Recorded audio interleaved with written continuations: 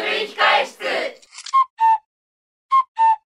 えー盛り上がってるかーいみんなお疲れ様お疲れ様第394回ラジオ学類のし控室だよイエーイ盛り上がってる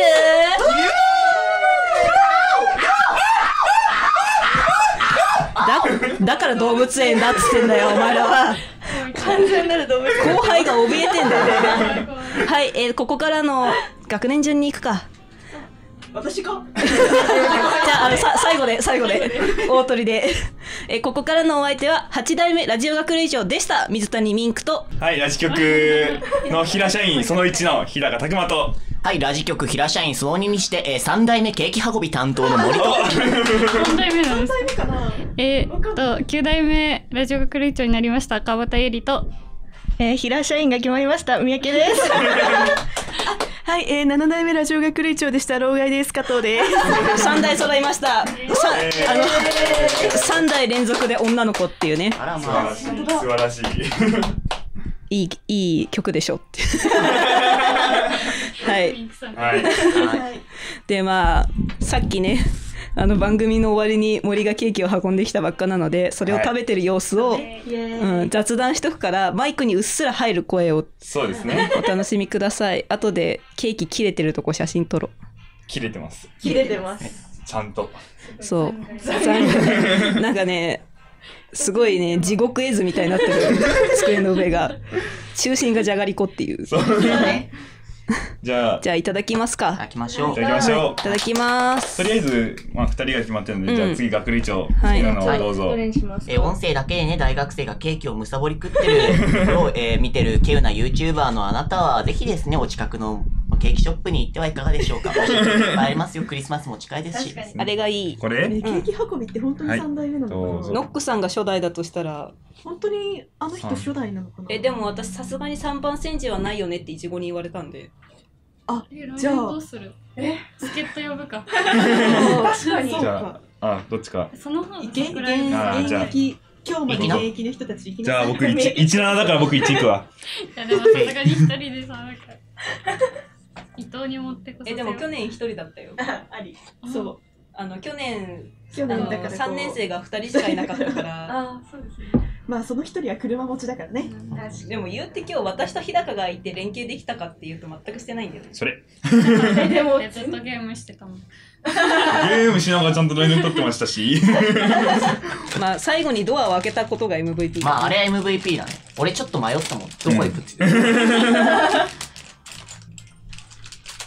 今歌つあ立ちながら鉄砲のドアって押すだっけ引くだっけどっちだっけ？あそこにスタンバった時点であこいつ開けるなって。思う、あこいつだったの？なんで立ったんって なんかいる知らなかったらなるなって思って。あら森さん偉いなよ。えーどうしようね。じゃあ森が運ん、できたんだよ。やった。えーじゃあ一番被害少ないやつ。よっしゃ。てか一番近いやつ。味変でじゃがりこ置いといたので。味変で。ありがとうございます。いただきまーす。ありがとうございます。ラジカ君最終回関係ねえ。なんかもうちょっとこう振り返るのかなと思ったけど。なんかケーキの受け取りが11時って聞いてたからうん。じゃあ森は10時まで寝てるだろうと思ってたの。はいはい。うん。起きてたね偉い。偉い。偉い。ちゃんと打ち合わせできたもん起きてたから。うんいや前日のうちに森10時まで寝てっていいよって連絡するの忘れちゃって。うん。9時集合なのに。ちゃんとね、今日は7時、ん。今日はね、7時に見えた。のか。早い。もう早い。あのね、寝たの4時だったからちょっと眠い。顔色が最悪。うん。そろそろ真面目に今日の回の振り返りでもしようか。そう。俺聞いてないからさ、何やってたの？前半は相談室で、えっと、これからは双方祭じゃなくて ITF フェス。っていう ?IT、ピリオドは必要です。怖すぎるんだけど。っていうのとなんだっけ捨てちゃった。えあれでしょ？出ちゃった。使われなかったそうくじ。さんと手袋さんと,、うん。えっと双方祭さんとうん年賀状書きます。吉成、年賀状吉成さん。あ。どういうこと？うん。そう吉成からお便り来てはいはい。私吉成なんだけどと思って。吉成の中の人私なんだけどと思って。でも中の人。うん。一代目と二代目が揃ってしまった。そうあの初代吉成の中の人がケーキ運びの森くんで、うん。2代目が私で吉成のツイッターの運ツイッターじゃねえやインスタの運営してるのも私。もうこれ一切関わってないっていう。それ知らないで書いたでしょうんうんえちゃんと中の人とか考慮しないで書いたでしょ私いや、そんなことはないと思うけどな。権利があるんだよ。ということでですね、突然現れたラジ局のですね、マスコットキャラクター的な吉成さんって何ぞやと思ったリスナーのあなたはぜひ、えー THK ラジオないのに学類のね、THK ラジオ学類の、えー収録現場にお越しください。吉成さんが待っております。まあね、目で見ないとわかんないからね。うん吉成私の精神的余裕金銭的余裕があったら機材揃えて YouTuber なんか。バーチャルかっこアナログうん。YouTuber なアナログ VTuber。そう。ピ PTuber うん PTuber もっちーさん言うと Twitter アカウント作ろう。作ってくれる？うん、適当に回すわ。いや今なんか双方採用になんか、モリモリの森ネタでしょ作ったアカウンそれを吉成さんに入れ替えようと思って。る。え、入れ替える？なんかね、インスタとの人格の乖離がすごそうやっぱほら、インスタとツイッターは違うからね。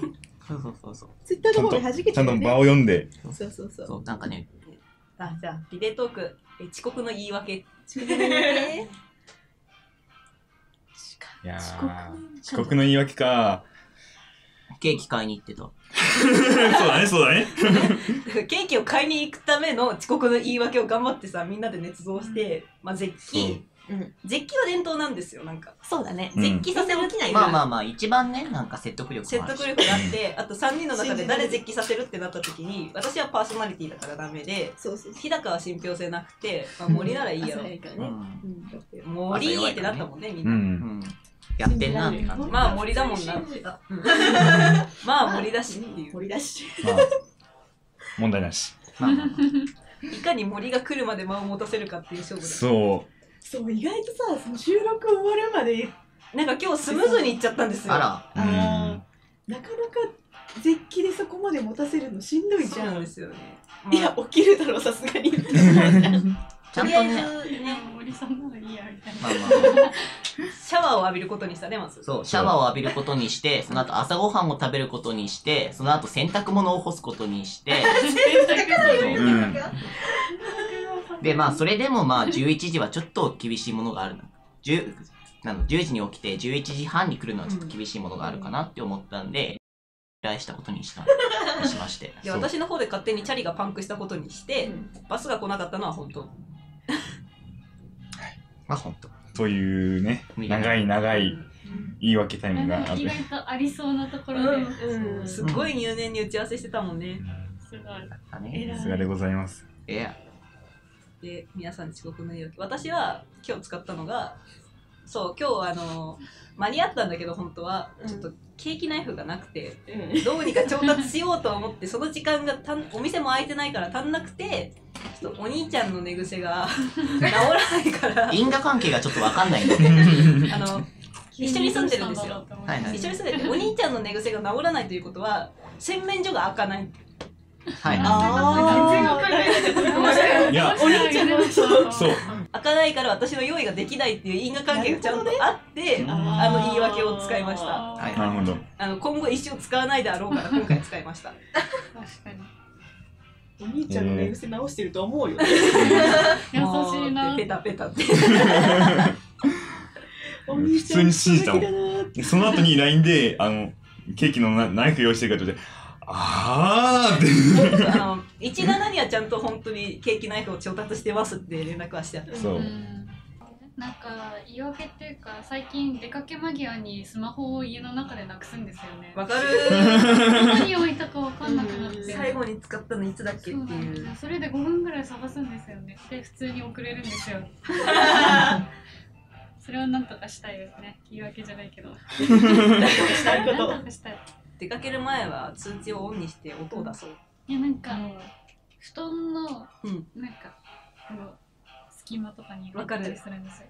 私も実うん。実家にいる間に1時間で6回なくしたことある。い布団やの中で。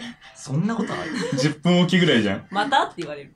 ま あ割となんか動画を見ながら家の中をうん。やってるので、どっかに立てて置いてうんそれをあるあるあるそのまま置いてきちゃってどこにあるかわかんなくなるもうワイヤレスイヤホンに僕やってる。あの、スマホポンって適当なところに置いといて、あの、適当にいつものところに置いといて、ワイヤレスイヤホンつなげて、ワイヤレスイヤホンつけながら徘徊してる。はい。映像見れないじゃん。そうだよえ、だって別に映像見なくないですか？映像を見るんですよあーじゃあもうテレビにつなげちゃいなよ。うんだからそう、僕いつもスイッチで YouTube 見てるわ。そういう時でもは。大体テレビ範囲以外で使うんですよそうなんだよあね。ーなんか洗濯物干しながらとか、ビは動かないからね。そうなんですよ。テレビを動かせばいいんじゃない？じゃあテレビは動くやつを買えない。んなそう動くテレビ。サイズじゃない。キャスターをつけて。そう、キャスターをつけて、コロコロ。それぐらいぐらい扉をつけて。なぶかちゃんある？言い訳。え言い訳？聞き方。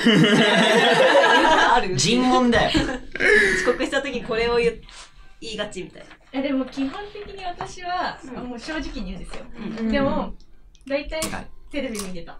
え 今日も本当にチコちゃんを。見てまして、うん。8時58分ぐらいに、うん。あチコちゃん終わるってことは9時だと思って。ドラマとか好きだもんね。ドラドラマそうなんです。本当こない一昨日の授業もうん。朝にドラマ2本見てたら、なんかドラマって飛ばせば45分で終わるじゃないですか。そうだねだから45分で終わると思って、まあ、40家を出る45分ぐらい前から流し始めて、うん。でも CM を飛ばすの忘れてて私、うん。結局50分ぐらいかかっちゃってそしたら。お姉さん。えっとね、数分単位だったら、えっと、あもちろんこう集合時間に家を出てるとかそういうパターンなんだけどそういう時は信号に全部引っかかったっていうか、家に財布忘れて一回取りに戻ったっていう、うん。あそれが一番。うん、結構マジで嘘ついて言ってる。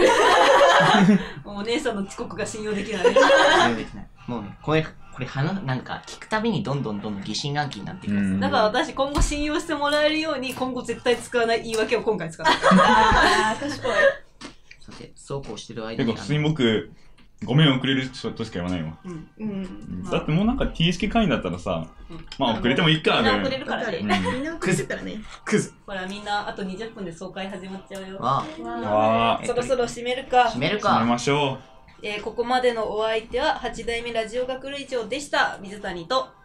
はい、えっ、と、ラジオ局の平社員でした。その1でした。えっ、と、日高佐久間と。はい、えー、ラジオ、えー、ラジオ局、制作局の、えー、平社員その2でした。えー、THK3 年の森と、えー、っと、えー、次のラジオ学類長になりました。川端優里と。えー、次は多分ラジオ学類局員その1になるんである 三宅のどかと。はい、えー、7代目でした。老害加藤でしたそれでは皆さんさようなら。ありがとう。ありがとう。サルサルゴリラ。ジーン はい。はい。